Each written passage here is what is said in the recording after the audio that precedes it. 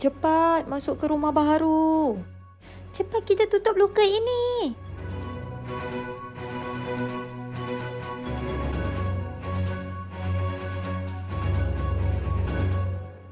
Alamak, tak sempat.